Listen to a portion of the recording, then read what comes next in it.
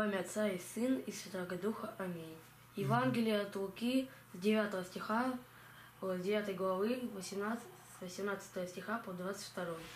В одно время, когда он молился в уединенном месте, и ученики были с ним, он просил их, за кого почитаете, за кого почитает меня народ.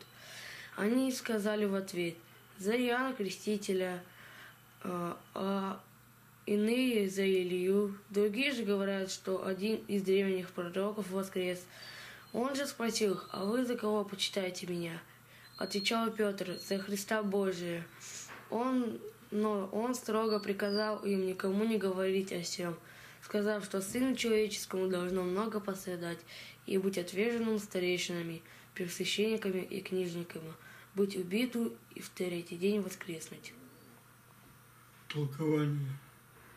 Господь, вопрошая учеников, не спрашивает прямо, что они сами говорят, но прежде спрашивает о мнении народном, а потом о мнении уже их самих.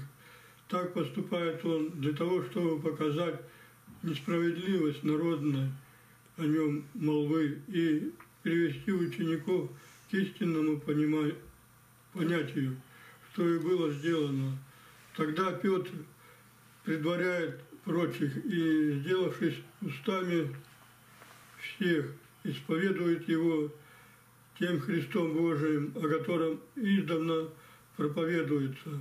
Не просто Христом Божиим назвал его, но тем Христом Божиим, который есть, собственно, Христос Божий, ибо многие были помазаны, но Христос, помазанник Божий, есть единый и единственный. Евангелие от Луки, с 9 главы, 23 по 27 стихи. «Ко всем же сказал, если кто хочет идти за мною, отвергни себя, возьми крест свой и следуй за мной. Ибо кто хочет душу свою беречь, тот потеряет ее, а кто потеряет душу свою ради меня, тот сбережет ее. Ибо что пользы человеку приобрести весь мир, а себя самого погубить? Или повредить себе, ибо кто постыдится меня и моих слов, того и Сын Человеческий постыдится, когда придет во славе Своей, и Отца, э, и святых ангелов. Говорю же вам, истинно есть некоторые из стоящих здесь, которые не вкусят смерти, как же увидят Царствие Божие крестом. Крестом называют толкование, крестом называют здесь смерть самую поносную, ибо не было иной так бесславной смерти, как самую смерть на кресте.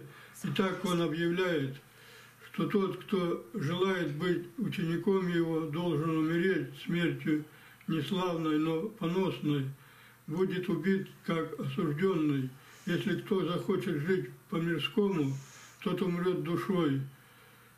Христа стыдится тот, кто говорит, как я буду веровать в распятого и поруганного Бога, а тот стыдится и слов его, кто глумится над простотой Евангелия. Господь постыдится такового во славе Своей, то есть во второе пришествие. Он говорит как бы так, как Домовладыка, имея лукавого раба, стыдится звать его своим рабом, так и я постыжусь наименовать своим рабом того, кто отрекется от меня. Отрекся. Отрекся от меня. Говорит несколько... Есть, говорит. Есть, говорит, несколько таких Иоанн, Петр и Яков, которые не умрут прежде, чем увидят, в какой славе будут мои исповедники. А увидят они это во время преображение. Достаточно.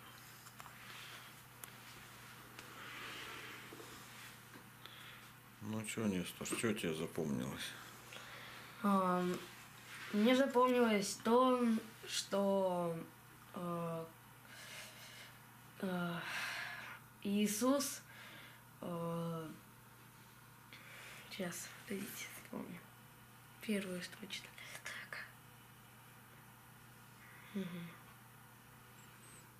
Ну, Василий, что можешь сказать? Тебе что запомнилось из прочитанного?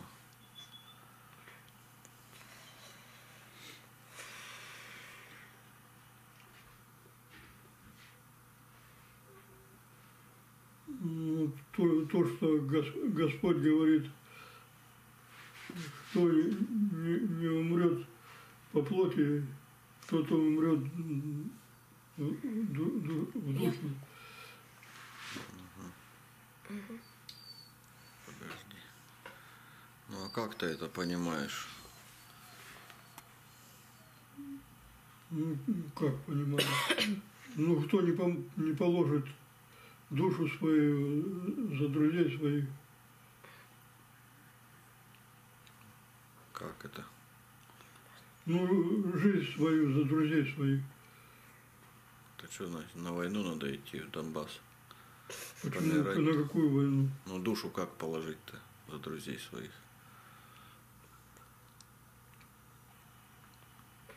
Ну, по примеру Господа. По примеру Господа. Господь брал оружие, воевал. Нет. А, нет. А что он делал? Как он душу Ну, свою сло- словом с дьяволом воевал. словом с дьяволом? Убил его.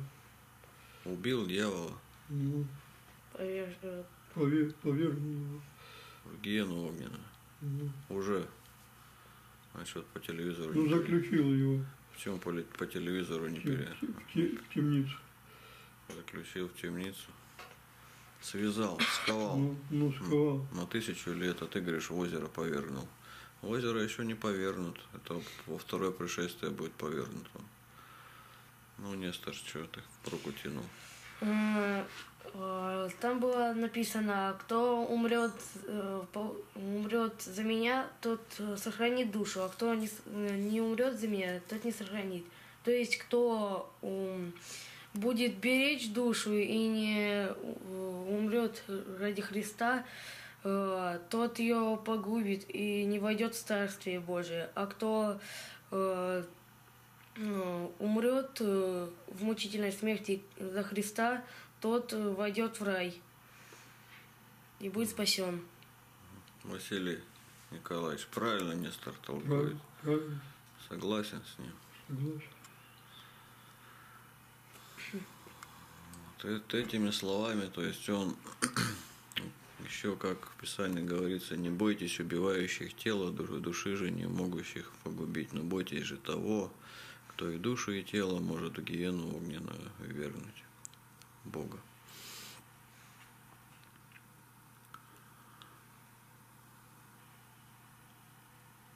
Вопросы есть? Пока нет.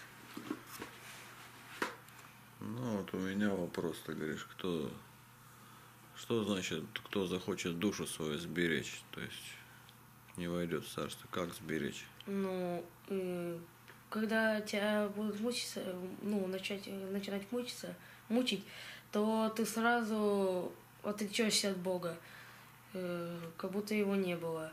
А те, кто не отрекся и му- мучились и умерли, те войдут в царствие. А те, кто не, заб- э, не мучились даже, а просто отреклись от Бога, те не войдут в Царствие Божие. Василий Николаевич, правильно рассказывает? Правильно. Правильно. Ну, а сегодня у нас мучают кого в России, христиан, Пока нет, но это ненадолго. ненадолго. Но вот так вот, если тебя поймают, Нестор, и мучить начнешь. Есть у тебя мужество не отречься от Христа. Или испугаешься, Не знаю. не знаешь. Все может быть. А ты, Все может Василий, быть, чего не может быть. а ты, Василий, если мучить начнут, устоишь? Да надо. Слово Божие поплотнее изучать. Веру, веру подкреплять. Да. То есть тот, кто твердо верит, тот устоит, а у кого вера шаткая, тот может отречься. Да. Правильно я говорю, Василий Да. Николаевич? Правильно. Поэтому мы вот каждый день берем, Евангелие читаем, и вера наша укрепляется. Так, Так. Василий, укрепляется у тебя вера-то? И- Не будьте как тростью уклоняющиеся. Так, ага. Так Господь говорит. Трость, колеблемая ветром. Ну, колебленная А вера. что значит колеблемая ветром? Ну, нет, не твердая вера. Не твердая вера. Сегодня направо, завтра налево колеблется туда-сюда. Сегодня верю, завтра не верю. Здесь верю, здесь не верю. Вот. А Господь, здесь верю и здесь верю. Господь призывает нас быть твердыми в вере. Он нам дал пример, он был верным до смерти, и смерти какой? Крестный. Крест. Что значит Нестор крестный? На кресте. Ну, на кресте. А кого на крестах распинали? Христа Иисуса. Нет, вообще. Ну, его же могли... Разбойников. Вот. Она считалась поносной, то есть позорной. То есть самых таких отъявленных негодяев. Писание говорится, и к злодеям причтен. То есть по правую, по левую сторону были у него разбойники. Так, ну, включи экран. Что там еще можем для себя взять? Вот, тут Христа стыдится тот, кто говорит, как я буду веровать в распятого и поруганного Бога. Вот. Как вот? Многие же стыдятся. Кого вы верите, его распяли. Что это за Бог такой, который... Некоторые говорят, разве бы Бог позволил сына своего распять? Он не умирал. Он живым взят на небо. Есть такие люди, которые так утверждают. Что это значит они? Стыдятся веровать в распятого. Да, Василий? Мирские люди. Мирские люди. А мы почему не стыдимся? Потому что Иисус сын Бога. И э, Он распялся за нас. Иисус. За наши грехи. Чтобы мы не погибли. Кровью своей волны наши грехи. Поэтому мы его не стыдимся, а напротив, благодарны ему, мы в это верим. А другие-то почему стыдятся? Как ты, Нестор, считаешь? Это загадка 20 века. Загадка 20 века. А у тебя, Василий? Ну, не понимают, что Бог наш Творец. Они просто не понимают, что Иисус умер за их грехи. И они не, не верят. Они думают, что Иисус пришел за верующими, а за, за неверующими нет. Хотя на самом деле все наоборот. Он пришел спасти неверующих, а верующим Запутался. Да. Не, нездоровые имеют нужду в враче, но больные. Это ты хотел сказать. Я пришел призвать не праведников, но грешников к покаянию. Вот, а они не, хва- не хотят, эти неверующие. Свет пришел в мир, но, более, но люди более возлюбили тьму, нежели свет. Потому что... Почему, Василий? стена перед ними. Не помнишь, Ну, потому что как в Писании написано? полюбили тьму. Да. Люди, бо- люди, а что значит полюбили тьму так? То есть Ну, жили... Потому что дела их были, дел- Дела их были злобные да, и лживые. да. Поэтому они и полюбили во тьме э, жить.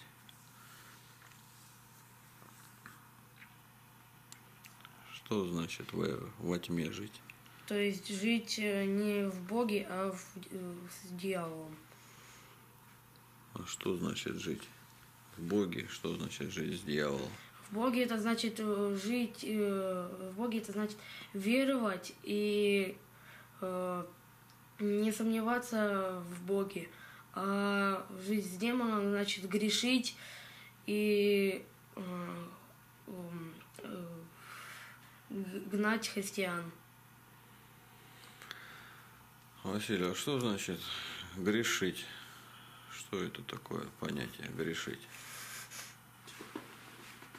Грешить. Значит, дьяволу служить. Ну, каким образом? Ну, Ну, как распознать человека, который Богу служит, который дьяволу? Какой критерий? ну, развратные дела все, которые не соблюдают 10 заповедей. Десять заповедей, заповеди, да, критерии Божии. Какие, Нестор, заповеди? Не делай себе кумира. эм, э, Ну, И- хорошо, подожди, Вас- Василий. Это ты вторую заповедь, а первая? Лю- Люби Господа Бога бо- больше, чем родных и даже мать. Ну, это уже в Евангелии сказано. Возлюби Господа Бога твоего всем сердцем твоим, всем разумея, всем крепостью. Ну да. И Господь правильно говорит, кто возлюбит отца или мать более, нежели меня, недостоин меня. Вот. Но это вовсе не значит, что теперь родителей нужно не почитать, не Не, помогать. ну это первая заповедь Божия. Да. Но она с, э, это, с другой не противоречит, почитай отца и мать. Если родители верующие, не препятствуют тебе ходить в церковь, то нужно их почитать. Но если же они препятствуют, то Господь тогда говорит, нужно выбрать меня, Господа, нежели родителей неверующих. Отойти от них. Вот. Ну, Вторая заповедь Нестор сказал, не, делай себе кумира. Сейчас люди делают себе много кумиров. Например, э, люди, которые э, ну, выступают, ну, э, поют там, они из них себе делают кумиров. И ну, Василий, что, что значит не делай себе кумира? Мира, ну, ну, прославлять там начальника или Генерального секретаря ну, ну, КПСС в этом роде. вместо Бога. Ну, еще Нестор. Это значит, что э, поклоняться другим богам, то есть не настоящему богу, а другим. Э, Из, например, из дерева сделать себе э, какую-то статую и поклоняться ей. Это, Нет, это другой. Как этот грех называется? Поклонение статуи-то. Идол. Идолопоклонство. Идолопоклонство. Вот. Сегодня чему только не поклоняются. Какие примеры идолопоклонства? Какие? Корова. Корова, священное животное в Индии. О, Вот. Еще какие животные, которым поклоняются? М, Нет. м, Про чем мы вчера смотрели? Собакам. Да, собакам строят им приюты. Они еще говорят, что люди это собаки, а собаки это не, со- не животные. То есть люди животные, а собаки нет. Они так переделывают. То есть поклонение собакам перерастает в ненависть к людям. То есть этот грех цепляет за себя другой грех, грех убийства. Ну, такая третья заповедь. Василий, помнишь? Не помнишь? А ты, Нестор? Сейчас пытаюсь вспомнить. Не произноси. А, не произноси ложного свидетельства на ближних. Это не третье. А, нет. А, не произноси имя Господа Бога твоего напрасно. Ибо Господь не ослабит наказание того, кто произносит его имя напрасно. Как это, Василий, понимать? Ну, то есть, э, устами про- люби- лю- любить Господа, а сердцем быть далеким от Него. Ну, то ты глубоко коп- копнул. Ну, конечно. Э, Некоторые люди сейчас очень часто говорят, ой Господи, ой Господи, а имя Господа Бога произносить напрасно пр- нельзя. Э, Его надо использовать в просьбе, в молитве э, или в благодарности. Но не как про- э, просто так. Всё, да. суете. Правильно Василий он растолковал. Правильно? Ну, а четвертая заповедь. Почитай отца и мать. Нет.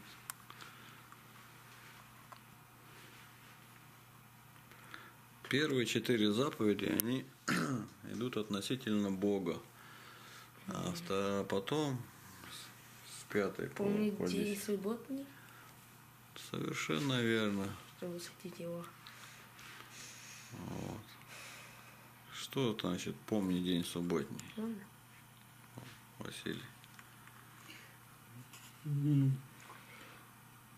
Для познания Слова Божьего. Не, не, не суетиться, познавать, изучать Слово Божье. Ну, а в пятницу, если я за- захочу поизучать. Ну, в пятницу дела суетные примешиваются.